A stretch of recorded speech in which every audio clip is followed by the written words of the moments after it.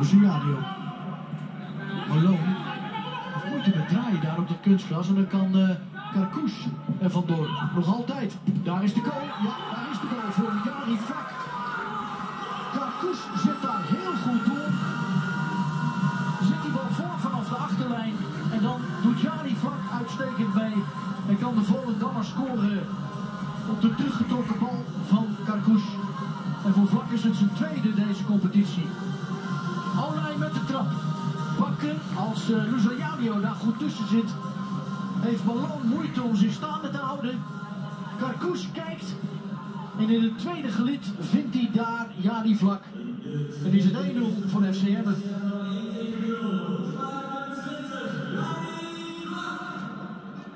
Zijn tweede pas deze competitie.